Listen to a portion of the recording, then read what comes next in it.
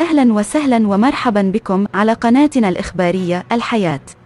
ندعوكم للاشتراك وتفعيل الجرس ولايك للفيديو ليصلكم الجديد والحصري. فجعت عائلة أحمد وإشراف السماوي السبت الثلاثين من أكتوبر 2021 بوفاة ابنتهم أمان السماوي في ريعان الشباب إثر تعكر صحتها بعد دخول والدها والي منوب السابق السجن. وبعد سجن والدها في قضية الرخص في ولاية منوبة أثبت فيها بالوثائق براءته من كل الاتهامات تم إيداعه السجن منذ أسبوع مما كان سببا في أزمة قلبية لابنته أمان السماوي دخلت بعدها في غيبوبة. وتطلب العائلة اليوم من السلطة أن تتيح لوالدها توديع ابنته وحضور جنازتها.